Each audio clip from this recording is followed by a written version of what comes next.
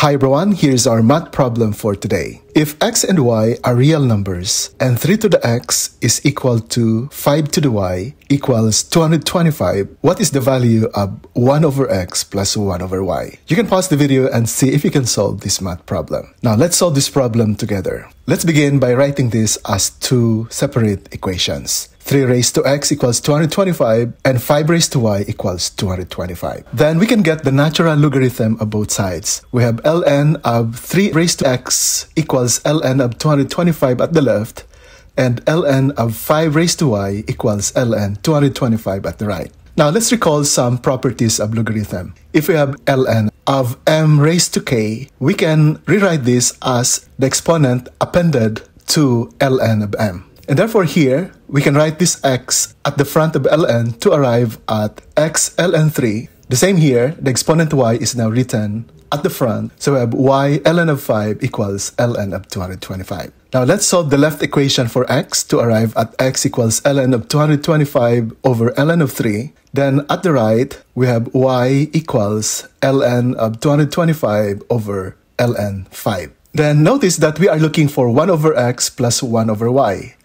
So that means we can get the reciprocal of x, and that is 1 over x, equals the reciprocal of the right side of this equation, which is ln of 3 over ln of 225. And we got also the reciprocal of y to be 1 over y, and we get the reciprocal of the right side of this equation, which is ln of 5 over ln of 225. Notice now that we have the expression for 1 over x and we have the expression for 1 over y, and we can now add these two equations considering that the denominators of the right sides of the equations are equal. So taking these two equations simultaneously, we can add the left side of this equation and this other left side of the equation to get 1 over x plus 1 over y. And we add also their corresponding right members. We have ln of 3 over ln of 225 plus ln of 5 over ln of 225. Now we have a common denominator of ln of 225, so this becomes ln of 3 plus ln of 5 over ln of 225.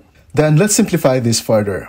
Let's recall again another property of logarithm. The logarithm of the product m times n is equal to ln m plus ln n. So the right side here of the numerator resemble the right side of this property so by the converse of this property, we can write this as product ln of 3 times 5. And of course, we can simplify this as ln of 15, but 225 is equal to 15 squared. Then simplifying, notice again that we have an exponent here. So let's recall the property that we used already. We can now write this two as the coefficient of ln of 15 to arrive at this denominator. And notice now that ln of 15 and ln of 15 are the same. So dividing now ln of 15 divided by ln of 15, the numerator becomes 1, and therefore 1 over x plus 1 over y equals 1 half. And this is now our final answer. Our final answer is